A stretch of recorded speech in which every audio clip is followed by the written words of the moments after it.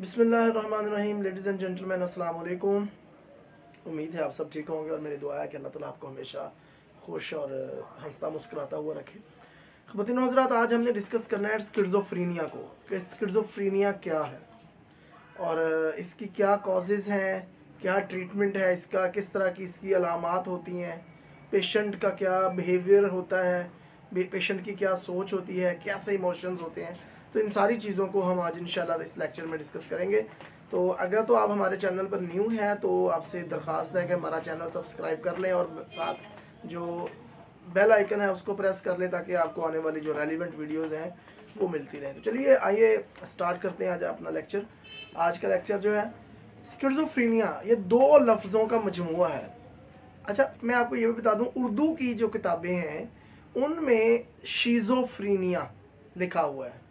उर्दू में शीज़ोफ्रीनिया लिखा हुआ है, जबकि हमें मास्टर्स में जब हम पढ़ते थे एमएससी कर रहे थे तो हमें स्किड्जोफ्रीनिया पढ़ाया गया।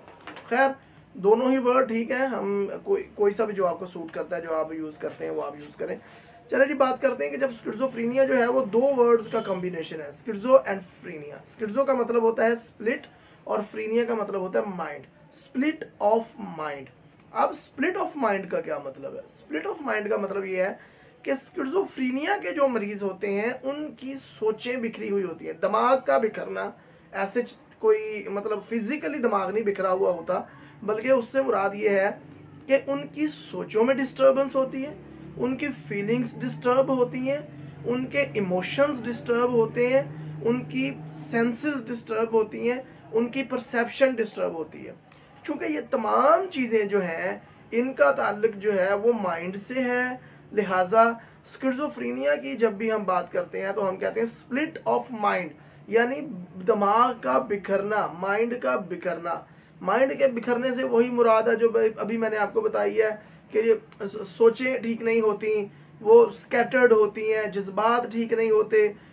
मसला कोई होता है, बंदा डेथ हुई होती है किसी की, बंदा हंस रहा होता है। मतलब डिस्टर्बेंस होती है ना।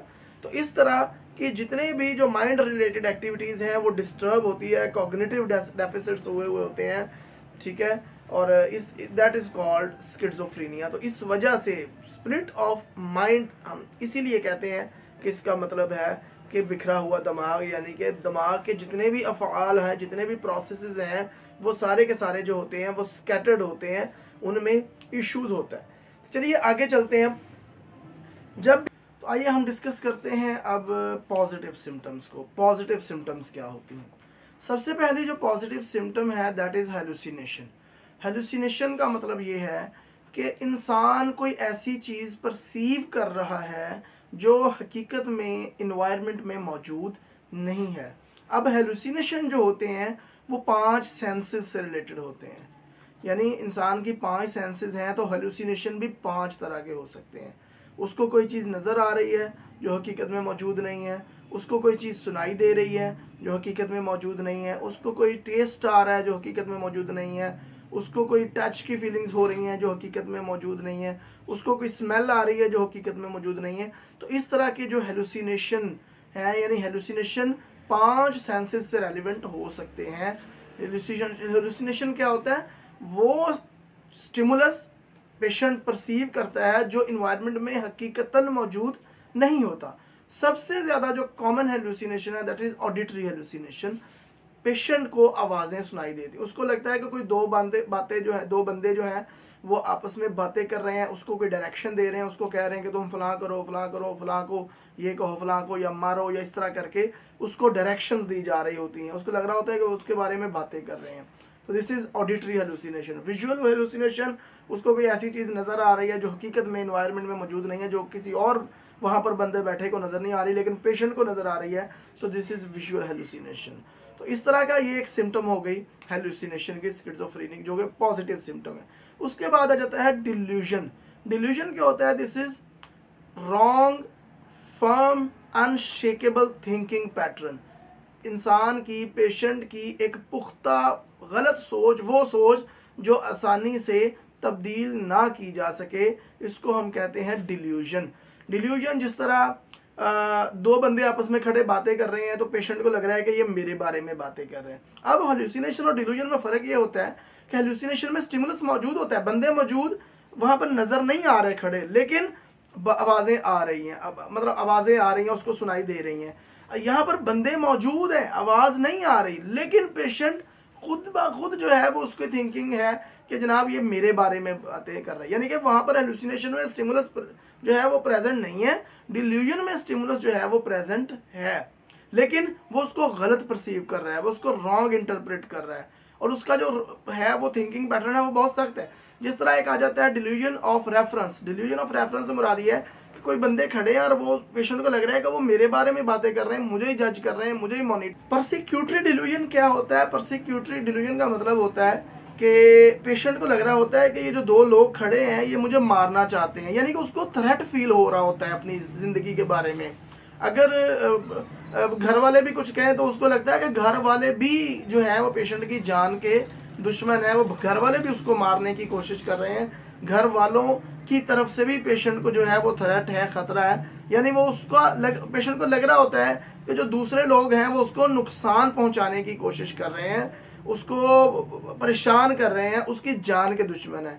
तो ये है परसिक्यूटरी डिल्यूजन इस तरह जब हम बात करते हैं डिसऑर्गेनाइज्ड स्पीच की तो डिसऑर्गेनाइज्ड स्पीच से मुराद ये है कि पेशेंट जो बात कर रहा होता है, उसकी बात में कोई रब्त नहीं होता। कोई वर्ड में कोई कोऑर्डिनेशन नहीं होती। जिस तरह पेशेंट कहता है, जनाब हवा, बिल्ली, पानी, कुत्ता मतलब इस तरह के वर्ड बोल रहा है कि वो कोई सेंटेंस जो है, वो आपस में मैच नहीं कर रहे। वो अगला बंदे को समझ नहीं आ रही होती है बेसिकली ये जो है, ये बंदा कहना क्या चाह रहा है। मतलब इसकी बिल्कुल भी समझ नहीं आ रही। अल्फाज जो हैं वो उनमें रब्त बिल्कुल भी नहीं है। सेंटेंस फॉर्मुलेशन जो है, वो इंतहाई पुअर है। वो सही तरह से सेंटेंस ही नहीं बना पा रहा कि जिसकी बेस पे वो बताए कि असल में वो कहना क्या चाह रहा है। वो वर्ड आगे पीछे बना देगा कि मैं कुत्ता फला गया, बिल्ली जगह मतलब वो वो वो इस तरह की जो स्टेंस फॉर्मुलेशन करेगा कि पेशेंट को मतलब सामने वाले बंदे को बिल्कुल भी समझ नहीं आएगी कि हकीकत में वो कहना क्या चाह रहा है।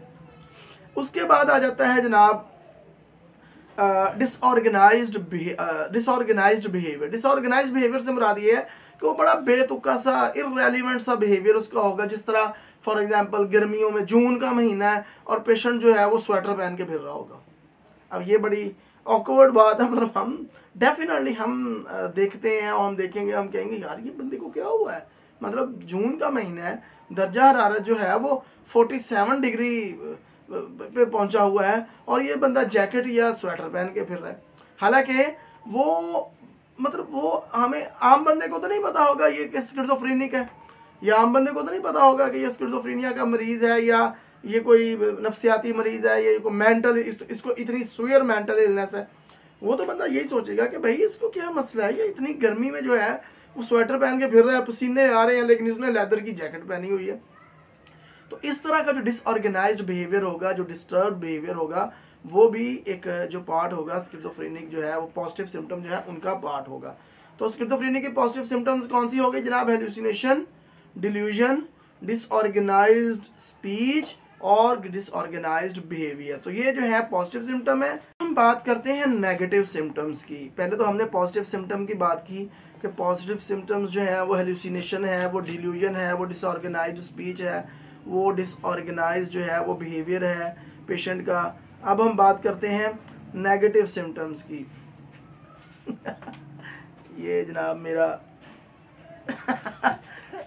इधर आओ, बात तो सुनो ये मेरा बेटा है जी, मोहम्मद जैन आबिदीन, माशाल्लाह। अब इसने प्ले ग्रुप का जो इम्तहान है, वो दिया है और बाईस तारीख को मेरे बेटे का रिज़ल्ट है तो फिर मेरा बेटा जो है, वो नर्सरी में हो जाएगा। तो आप सबने मेरे बेटे के लिए दुआ भी करनी है, मेरे लिए भी दुआ करनी है कि अल्लाह ताला इसको कामयाब करे और अल्लाह ताला हम सबको कामयाब करे। चलिए खैर, चलिए अपने टॉपिक की तरफ़ चलते हैं। तो जब हम बात करते हैं कि ये मैं बात कर रहा था पॉजिटिव सिम्टम जो है वो हेलुसिनेशन डिल्यूजन डिसऑर्गेनाइज स्पीच और डिसऑर्गेनाइज्ड बिहेवियर हो गया। अब हम बात करते हैं नेगेटिव सिम्टम्स की। इसी तरह जिस तरह पॉजिटिव सिम्टम है, इस तरह स्किजोफ्रेनिया के नेगेटिव सिम्टम्स भी होते हैं। नेगेटिव सिम्टम्स यानी कि मैंने आपको पहले बताया, वो सिम्टम्स जिनमें एक्टिविटी जो है वो डाउन हो जाती है, जो एनर्जी लेवल है वो लो हो जाता है। मतलब कोई चीज़, इस तरह जैसे कोई चीज़ इंसान की पर्सनैलिटी से, उसके बिहेवियर से निकल गई है डाउन हो गई है। इसलिए हम इसको नेगेटिव सिम्टम कहते हैं। तो सबसे पहला जो negative symptom this is flat affect flat affect का मतलब होता है कि बिल्कुल इमोशंस गायब हो जाते हैं, कोई भी कोई खबर डेथ की खबर सुन ली, कोई खुशी की खबर सुन ली, लेकिन पेशेंट के जो चेहरे पे वो कोई मतलब फॉर एग्जांपल कोई बताता है जी कि आपके घर में बेटा हुआ है तो पेशेंट बस सुन मतलब कोई खुशी की खबर नहीं मतलब उसको लग रहा है जैसे कोई आम सी बात है और मतलब वो खुश नहीं हो पा रहा। इस तरह अगर कोई डेथ हो गई है, उनका कोई लव्ड वन है, वो उसकी डेथ हो गई है तो पेशेंट वो गम नहीं शो कर पा रहा। मतलब बिल्कुल उसका जो इफ़ेक्ट है, वो जो है वो फ्लैट इफ़ेक्ट है। आगे जाता है इनहिडोनिया। इनहिडोनिया से मुराद है lack of interest in daily life activities मतलब पेशेंट जिन डेली लाइफ में, जिन एक्टिविटीज़ में वो शमूलियत अख्तियार करता था, अब वो उसमें नहीं करता। मतलब जिन चीज़ों में उसको खुशी मिलती थी हैप्पीनेस मिलती थी, अब वो जो काम करके वो खुश होता था, अब वो उसका जो इंटरेस्ट है वो उन चीज़ों से ख़त्म हो गया है। उसके बाद आता है एवोल्यूशन एवोल्यूशन का मतलब ये होता है लैक ऑफ़ मोटिवेशन हर बंदे की ज़िंदगी में एक गोल होता है। लेकिन यहाँ पर पेशेंट जो स्किज़ोफ्रेनिक पेशेंट होते हैं उनका जो गोल होता है ज़िंदगी का, वो डिमिनिश्ड हो जाता है, ख़त्म हो जाता है डिक्रीज एलिमिनेट हो जाता है। उनको लग रहा होता है जैसे कोई भी ज़िंदगी में कोई मकसद नहीं है जिसके लिए कोई तगोदो की जाए, कोई भाग दौड़ की जाए तो वो बिल्कुल उनका जो है वो वो डल हो जाते हैं, वो मेहनत से कतराना शुरू कर देते हैं मोटिवेशन उनके अंदर ख़त्म हो जाती है स्ट्रगल ख़त्म हो जाती है, उनकी कोई ज़िंदगी का मकसद नहीं रहता। तो ये जो दो तीन सिम्टम्स हैं, इनको हम नेगेटिव सिम्टम कहते हैं फ्लैट इफ़ेक्ट हो गया, उसके अलावा एवोलेशन हो गया इनिडोनिया हो गया, एक होता है अलोगिया अलोगिया जो है this is also negative symptom इसमें क्या होता है स्पीच ख़त्म हो जाती है। बिल्कुल ब्लॉकिंग मतलब होता है टोटली एबसेंस ऑफ़ स्पीच या डिले ऑफ़ स्पीच या ब्लॉकिंग ऑफ़ स्पीच इस तरह के पेशेंट जो होते हैं, या तो वो बिल्कुल नहीं बोलते, बिल्कुल सुन होकर बैठे रहते हैं, आप जो मर्ज़ी बात करते रहे उनकी सेहत पे कोई असर नहीं होता, वो चुप करके बैठे हुए हैं। या फिर आप एक बात करते हैं तो वो काफ़ी डिले डालकर जो है, वो उसका जवाब देते हैं। या वो बिल्कुल भी जवाब नहीं देते, या उन पॉजेज दे रहे होते हैं बहुत ज़्यादा कि बंदा ये सोचता है कि इनसे जो है वो वो बात करना जो है वो पॉसिबल नहीं है, ये बंदा जवाब नहीं दे रहा। तो इस तरह के जो है वो सिम्टम्स जो है, वो नेगेटिव सिम्टम्स हैं, जिनमें नेगेटिव सिम्टम्स अब जो मैंने डिस्कस की हैं, उनमें अबोगी, अलोगिया एवोल्यूशन इनहिडोनिया और फ्लैट इफ़ेक्ट वगैरह शामिल है। पॉजिटिव सिम्टम जो है वो मैंने डिस्कस किए हैं हेलुसिनेशन डिलीरियन डिसऑर्गेनाइज स्पीच और डिसऑर्गेनाइज बिहेवियर वगैरह। अब आ जाते हैं इसकी कॉजेज़ की तरफ़। दो तीन तरह की कॉजेज़ होती हैं, एक होती हैं न्यूरोकेमिकल कॉजेज़ एक होती हैं जेनेटिक कॉजेज़ एक होती है इन्वायरमेंटल कॉजेज़ न्यूरोकेमिकल कॉजेज़ कौन सी होती हैं? हमारे माइंड में एक ब्रेन न्यूरो पाया जाता है ब्रेन में, जिसको हम कहते हैं डोपामीन डोपामीन का लेवल जब हाई हो जाए, बहुत ज़्यादा हाई हो जाए तो इंसान के जो एक्स्ट्रा परसेप्चुअल जो टेंडेंसीज पैदा हो जाती हैं, इंसान उस चीज़ को भी परसीव करना शुरू कर देता है जो हकीकत में मौजूद नहीं होती डोपामीन के हाई लेवल की वजह से। उसके अलावा, वो वालदेन, वो बच्चे जिनके दोनों वालदेन स्किज़ोफ्रेनिक हो। अब यह मैं जेनेटिक कॉजेज़ की बात करने लगा हूँ कि जीन्स हैं हमारे अंदर जो ट्रांसफ़र होते हैं तो वो बच्चे जिनके दोनों वालदेन स्किज़ोफ्रेनिक हो, उनमें 40 परसेंट चांसेज होते हैं स्किज़ोफ्रेनिया डेवलप होने के बच्चों में। और वो बच्चे जिनका एक वालद या वालदा स्किज़ोफ्रेनिक हो, उनमें 15 परसेंट, पंद्रह परसेंट चांसेस जो होते हैं, वो स्किज़ोफ्रेनिया डेवलप होने के होते हैं। अब इस तरह के बच्चे जो होते हैं, जिनके वालदेन में स्किज़ोफ्रेनिया होता है, ये बचपन से ही इनके बिहेवियर अजीब से होते हैं, ये अलग थलग से रह रहे होते हैं, बहुत कम बोलते हैं, बहुत ज़्यादा बातें नहीं करते अपनी ही दुनिया में मगन रहते हैं, जब ये आहिस्ता आहिस्ता बड़ा होना शुरू होते हैं बीस पच्चीस साल तो ये तो जेनेटिक मेकअप था जेनेटिक जीन्स की वजह से ऐसा हो रहा था, और जब ये जब बीस पच्चीस साल की उम्र को पहुँचते हैं तो कोई ना कोई स्ट्रेसर जो है, वो आ घेरता है इनको, या कोई फिनेंशियल स्ट्रेसर आ गया, या कोई लव्ड वन की डेथ हो गई, या कोई एजुकेशनल कोई ब्लॉकिंग हो गई, कोई एजुकेशनल फेलियर हो गया तो वो क्या करता है कि वो हिट करता है उस जेनेटिक जो प्रीडिस्पोजिशन होती है, जो जेनेटिक जो एक उसके अंदर एक इशू होता है स्किड्जोफ्रीनिया के का तो वो दोनों मिल जाते हैं जेनेटिक और इन्वायरमेंटल फैक्टर और उनके अंदर जो स्किड्जोफ्रेनिक जो सिम्टम्स हैं, वो ट्रिगर होना शुरू हो जाती हैं। तो ये दो तीन कॉजेज थे, एक तो न्यूरोकेमिकल कॉजेज डोपामिन के हाई लेवल होने की वजह से, एक अगर वो बच्चे जिनके दोनों पेरेंट्स स्किड्जोफ्रेनिक हैं, उनमें फोर्टी परसेंट चांसेज हैं, जिनका एक पेरेंट माँ या बाप स्किड्जोफ्रेनिक है, उनमें फिफ्टीन परसेंट चांसेस जो हैं, वो है। और या जिनको इन्वायरमेंटल स्ट्रेसर की वजह से भी स्किड्सोफ्रेनिया जो है। अब हम बात करते हैं इसके ट्रीटमेंट की तरफ़, कि ट्रीटमेंट बेसिकली इसका क्या है। अच्छा एक बार ट्रीटमेंट स्टार्ट करने से पहले मैं आपको एक बात बता दूँ कि सबसे पहले एक बात ध्यान रखें कि इसका जो ट्रीटमेंट होता है, अगर आपको कोई खुदा ना खास्ता आपके घर में कोई फ़र्द ऐसा है जिसको आप देखते हैं कि उसकी जो स्किट्सोफ्रेनिक जो जो भी मैंने सिम्टम डिस्कस किए उनमें कोई ट्रिगर होना शुरू हो गई हैं तो फ़ौरन से पहले उसको साइकाइट्रिस्ट के पास रेफ़र करें, उसको लेके जाएँ ट्रीटमेंट स्टार्ट करवाएँ। क्योंकि स्किज़ोफ्रेनिया का ट्रीटमेंट जितना ज़्यादा डिले और लेट होता जाता है सिम्टम्स की सिवियरिटी उतनी बढ़ती जाती है और उसमें प्रोग्नोसिस यानी रिकवरी या जो बेहतरी के चांसेज हैं उतने कम होते जाते हैं। बल्कि मैं आपको यहाँ तक बताता चलूँ कि वो लोग जिनमें फ़र्स्ट टाइम स्किज़ोफ्रेनिया भी स्टार्ट ही होता है, उनकी ट्रीटमेंट में भी कम अज़ कम एक दो साल लग जाते हैं। तो ये एक लंबा ट्रीटमेंट होता है, इसको एंटीसाइकोटिक डिफरेंट मेडिसिन हैं जिनके ज़रिए ट्रीट किया जाता है। एक लंबा प्रोसीजर है। उसमें आपने ध्यान ये रखना है ट्रीटमेंट करते हुए कि उताना नहीं, सब्र, हौसले, हिम्मत, बर्दाश्त से काम लेना है, क्योंकि ये लंबा प्रोसेस है। इसकी जो मेडिसिन जब स्टार्ट की जाती हैं तो कोई चार से पाँच या छः हफ़्ते जो है, वो उनका असर शुरू होने में लगा देते हैं। तो कभी भी आपने परेशान नहीं होना कि भाई ये महीना हो गया मेडिसन लेते हुए और अभी तक तो बिल्कुल फ़र्क नहीं पड़ा तो आप पहले उसको कम से कम सात आठ हफ़्ते देखें छः सात हफ़्ते देखें। अगर नहीं ट्रीटमेंट वो इफ़ेक्टिव हो रही तो फिर अपने जो है वो साइकाट्रिस्ट से आप डिस्कस करें चीज़ को। अच्छा उसमें क्या होता है? एक तो लंबा अरसा चलता है, फिर उसमें साइड इफ़ेक्ट भी होते हैं, जिनमें डिस्टर्ब स्लीप होती है डिस्टर्ब एपिटाइट होती है तो ये मैनेजेबल जो सिम्टम्स हैं, इनमें ये ये चीज़ें जो हैं वो मैनेज हो जाती हैं। तो इसमें आपने घबराना नहीं, बल्कि ट्रीटमेंट जो है वो छोड़ना भी नहीं है, बल्कि उसको जारी रखना है। बल्कि आजकल तो एडवांस टेक्नोलॉजी आ गई है, अब एंटीसाइकोटिक इंजेक्शन आ गए हैं, जो महीने में एक दफ़ा या दो दफ़ा लगता है तो पेशेंट को जो है वो, ये जो रोज़ाना वाली टैबलेट है या दूसरे दिन की जो टैबलेट है, वो भी खाने की ज़रूरत नहीं पड़ती। पेशेंट जो है वो एंटीसाइकोटिक्स ही जो इंजेक्शन है, वो ही जो है वो काफ़ी कारगर उसके लिए साबित हो जाते हैं। तो ये चीज़ें हमने डिस्कस कर ली हैं। मैं आपको थोड़ा सा रिवाइज कर देता हूँ कि स्किज़ोफ्रेनिया स्प्लिट ऑफ़ माइंड इसमें डिस्टर्ब हो जाते हैं। थॉट पैटर्न परसेप्शन फीलिंग दो तरह की सिम्टम्स होती हैं। Positive symptom negative symptom positive symptoms में जो होता है वो hallucination delusion disorganize speech disorganize behaviour negative symptoms में flat affect alogia avolition and anhedonia शामिल है। उसके अलावा इसके कॉजेज़ में जनाब जेनेटिक कॉजेज़ हो सकती हैं इन्वायरमेंटल कॉजेज़ होती हैं न्यूरोकेमिकल कॉजेज़ हो सकती हैं।